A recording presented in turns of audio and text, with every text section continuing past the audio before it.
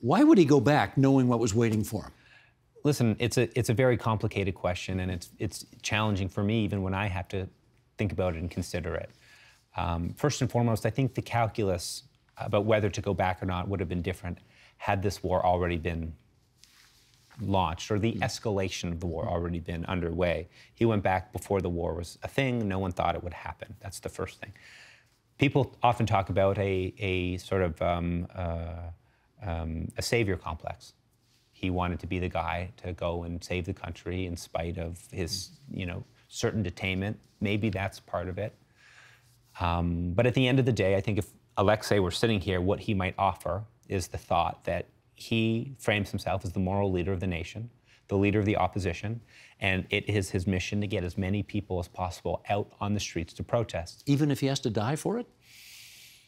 I think he's trying to set an example. And what he would say is, how can I ask people to go protest if I'm sitting safe in Berlin or Vilnius or Paris or wherever? He wants to be an example and show Russians that they can be brave and they can be courageous and strong it's it's it's a deeply upsetting and sad context, but at the end of the day, it's the decision made between Navalny and his higher power, and whether you agree with him or not, you you must admire the courage it took to make that decision.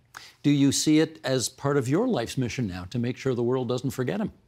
I think I'm forever tied to this guy uh, and his family, um, and I, I happen to, to care about them very much. I've become quite close with his wife and children over the course of our awards campaign and, and the promotion of the film, and, and they were just, you know, uh, sharing the dance floor, tearing up the dance floor at my wedding a few days ago. Mm. And it was really special for all of us that they were there, and it was very meaningful. Um, but of course, when it comes to Navalny specifically, my ultimate dream for all of this is to be able to show him the film, travel to Moscow in the hypothetical Russia of the future when Putin is gone and there's a very, very different political headwind in that country. And I can show him the movie that we made.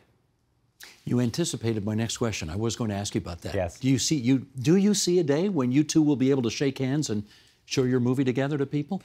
Well, listen, things look really bleak right now. They sure do. But, you know, there's that old expression, the night is darkest just before the dawn, and I believe in that. And if you spend enough time with Navalny, one of his values that I think is cornerstone to who he is is his sense of optimism and hope.